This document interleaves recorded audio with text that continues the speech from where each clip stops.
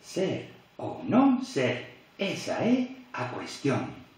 Ola, miriñas, ola, miriños, son Luisinho.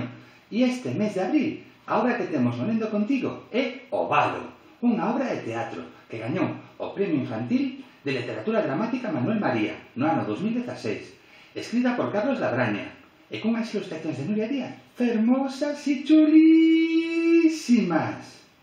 O Valo nos conta a historia de Sáhara e o soldadiño E é unha historia moi fermosa, moi necesaria para estes tempos onde non queremos que haxa galos.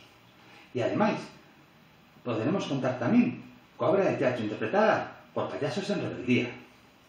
Temos o sábado ás 12 da mañán no Concello de Nigrán no seu auditorio o Lendo Contigo con Carlos da Braña e pola tarde o Concello de Nigrán gracias ao Fondo Galego de Cooperación e Solidariedade vai poñer a obra de teatro do Valo no auditorio con entrada gratuita. Non faltedes, Lembrade, pasade o ben, noite, días lectores. Eu me quedo falando con Gracio. Ser ou non ser? Pois tenemos que ser lectores, non? Ata loguiño, adeus!